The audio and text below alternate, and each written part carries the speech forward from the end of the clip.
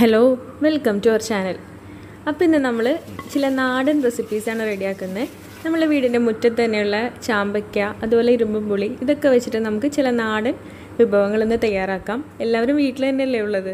അപ്പോൾ നമുക്ക് മുറ്റത്തോട്ടൊക്കെ ഒന്ന് ഇറങ്ങി ഇതുപോലെയുള്ള സംഭവങ്ങളൊക്കെ ഒന്ന് കളക്ട് ചെയ്ത് കൊടുത്തു കഴിഞ്ഞാൽ ഉണ്ടാക്കി കഴിഞ്ഞാൽ അടിപൊളിയായിട്ട് കുട്ടികൾക്കൊക്കെ ഭയങ്കര ഇഷ്ടമാവും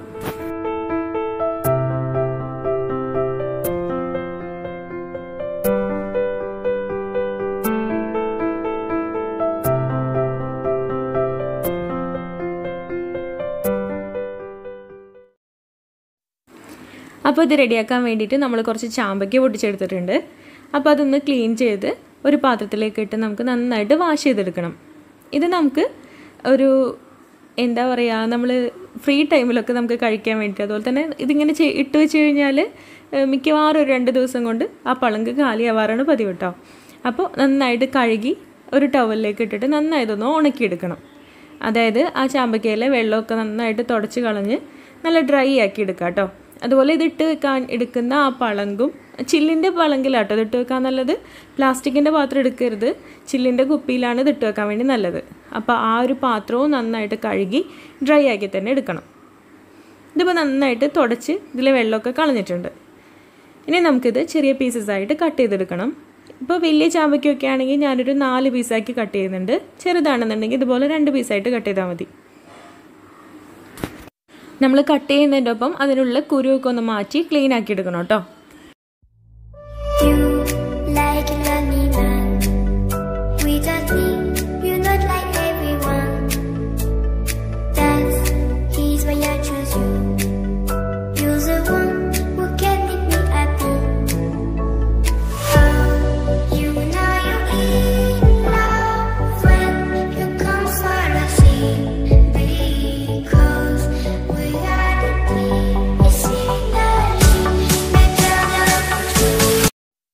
നമ്മളങ്ങനെ ചാമ്പയ്ക്ക എല്ലാം ഇതുപോലെ ചെറിയ പീസസ് ആക്കി കട്ട് ചെയ്ത് സീഡൊക്കെ റിമൂവ് ചെയ്ത് വെച്ചിട്ടുണ്ട്.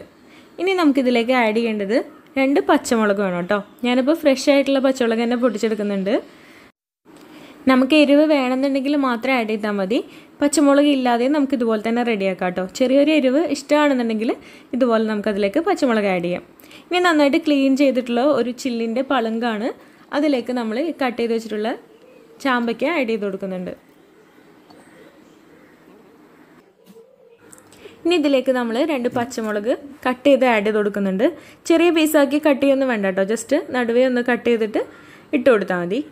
ഇനി ഇതിലേക്ക് നമ്മൾ ആഡ് ചെയ്യുന്നത് സോൾട്ടാണ് അത് നമുക്ക് ആവശ്യത്തിനനുസരിച്ച് ആഡ് ചെയ്യാം. ഞാനിപ്പോൾ ഇവിടെ ഒരു രണ്ട് ടീസ്പൂൺ ആഡ് ചെയ്ത് കൊടുക്കുന്നുണ്ട് കേട്ടോ ചെറിയ ടീസ്പൂണാണ് അതുകൊണ്ട് രണ്ട് ടീസ്പൂൺ ആഡ് ചെയ്യുന്നുണ്ട്.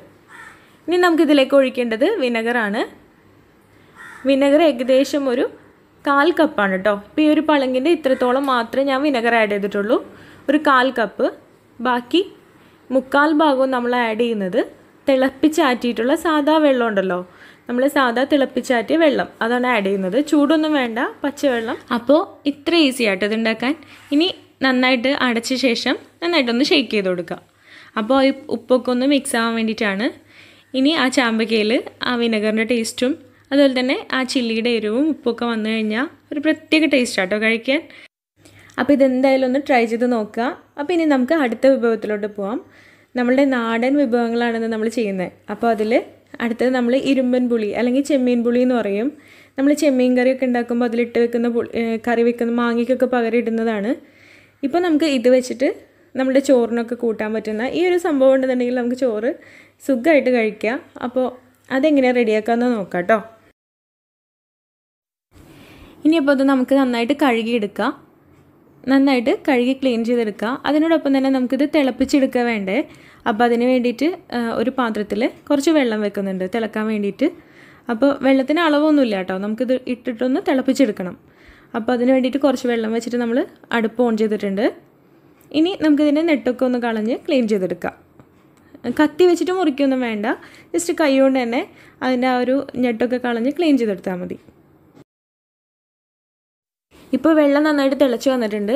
അപ്പോൾ നമ്മളൊരു കാര്യം പ്രത്യേകം ശ്രദ്ധിക്കുക. ഇതിലേക്ക് ഇട്ട ഉടനെ തന്നെ ഫ്ലെയിം ഓഫ് ചെയ്യുക കേട്ടോ നന്നായിട്ട് തിളക്കുമ്പോൾ ഇട്ട് കൊടുക്കുക.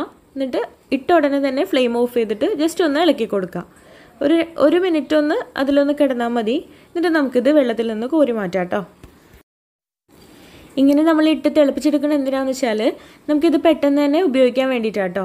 അതല്ലാന്നുണ്ടെങ്കിൽ നമ്മൾ ഇങ്ങനെ ചെയ്യാതെ ഡയറക്റ്റ് ഉപ്പിലിടുകയാണെന്നുണ്ടെങ്കിൽ ഇത് പെട്ടെന്ന് തന്നെ കേടാവാനും ചാൻസ് ഉണ്ട്. ഒപ്പം നമ്മൾ രണ്ട് ദിവസം കഴിഞ്ഞിട്ട് നമുക്കിത് ഉപയോഗിക്കാൻ പറ്റുള്ളൂ.